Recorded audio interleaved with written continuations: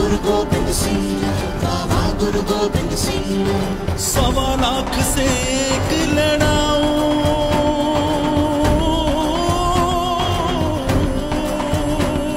बाबा गुरु गोबिंद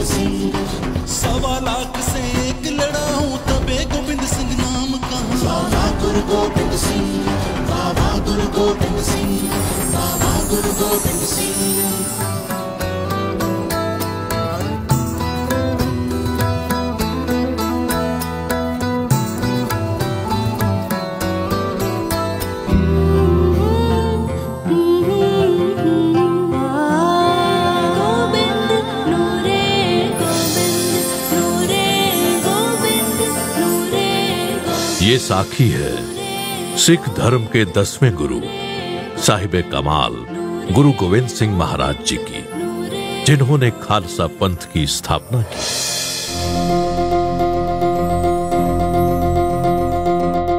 गुरु गोविंद सिंह जी के बचपन के खेल बड़े विचित्र और अनोखे हुआ करते थे।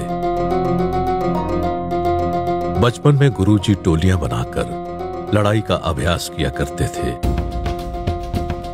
सारे शहर में उनकी बाल सेना बहुत मशहूर थी। गुरुजी खिलौनों की बजाय तीर कमान जैसे शस्त्रों से खेला करते थे। उनकी निशानेबाजी दूर दूर तक मशहूर थी।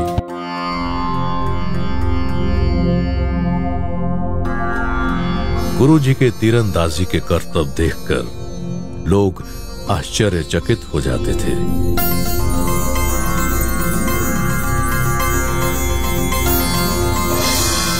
तीरंदाजी के अलावा गुरुजी को गुलेल से निशाने लगाने का भी बहुत शौक था। जिस हवेली में गुरुजी रहते थे, उसी हवेली में कुआँ था। उस कुएँ का पानी बहुत ही मीठा और स्वच्छ था। मोहल्ले की औरतें उस कुएँ से पानी भरने आया करती थी। जब भी वो औरतें कुएँ से पानी भरकर अपने घर की ओर जाने लगती थी, तभी गुरुजी अपनी गुलेल से उनके घड़ों का निशाना बनाकर उन्हें तोड़ दिया करते थे।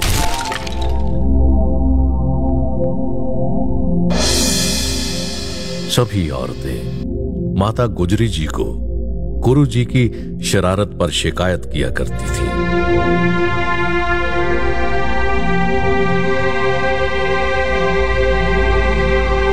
जिस पर माता गुजरी जी उन सबको दिलासा देकर घड़े के मोल से भी ज़्यादा पैसे दिया करती थी। घड़े की कीमत से भी ज़्यादा पैसे मिलने पर वो औरतें खुश हो जाती थी।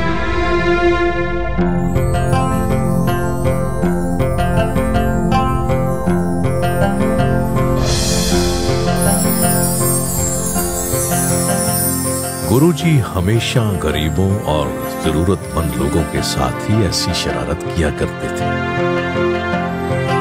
वो बार बार ऐसा क्यों करते थे? इस बात को माता गुजरी जी भी समझ नहीं पा रही थी। इसी तरह की एक और घटना है। गुरु जी के घर के पास एक विधवा बूढ़ी माई रहती थी। वो बहुत ही गरीब थी और उसकी कोई औलाद भी नहीं थी।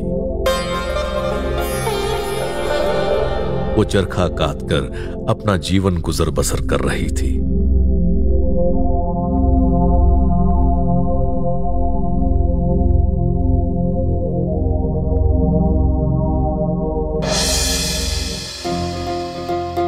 गुरुजी उस बूढ़ी माई के घर में जाकर उसकी सारी चरखियाँ बिखेर देते थे। जिससे वो गरीब बूढ़ी माई बहुत दुखी हो जाती थी। और गुरु जी की शिकायत माता गुजरी जी को किया करती थी। माता गुजरी जी उस बूढ़ी माई को भी उसकी चरखियों के दाम से भी ज़्यादा पैसे दे दिया करती थी, जिससे वो बूढ़ी माई भी खुश हो जाती थी।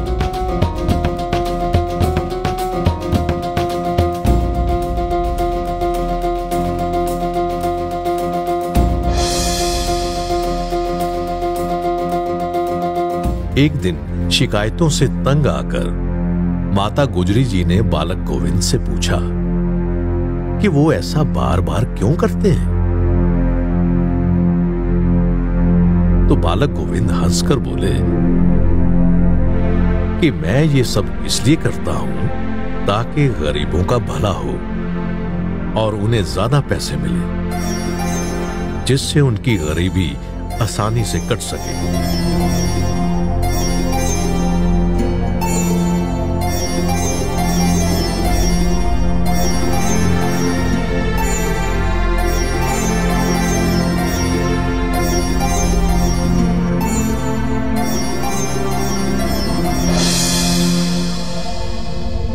गुरुजी जब भी अपने विचित्र और अनोखे खेल से किसी के साथ शरारत किया करते थे तो दरअसल उस शरारत के पीछे उस मनुष्य की भलाई ही छुपी होती थी।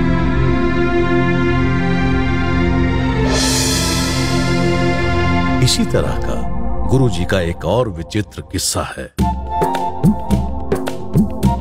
गंगा नदी किनारे एक कोड़ी रहता था। वो कभी भी स्नान नहीं करता था। एक दिन जब गुरुजी अपने मित्रों के साथ गंगा किनारे खेल रहे थे, उन्होंने उस कोड़ी को गंगा में धक्का दे दिया। वो कोड़ी घबराकर चिल्लाने लगा।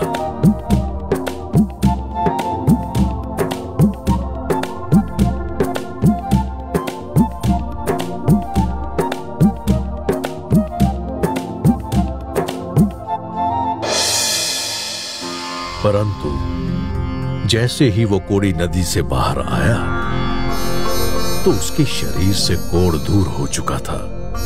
अब वो बिल्कुल स्वस्थ था।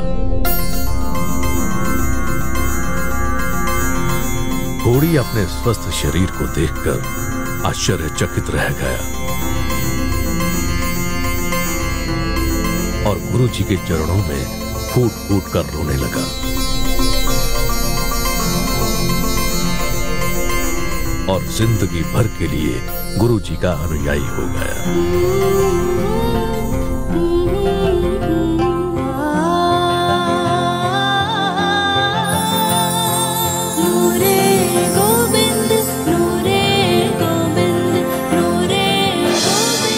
ऐसे थे बचपन के बालक गोविंद जो बड़े होकर इस युग के एक महान नायक बने।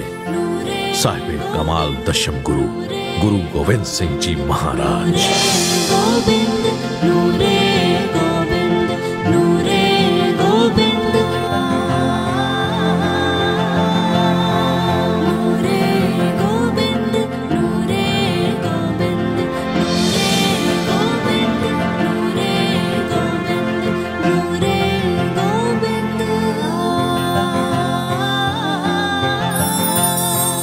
आज्ञा पई अकाल की। आज्ञा पई अकाल की, तबे चलायो पंथ। सब सिखन को हुक्म है गुरु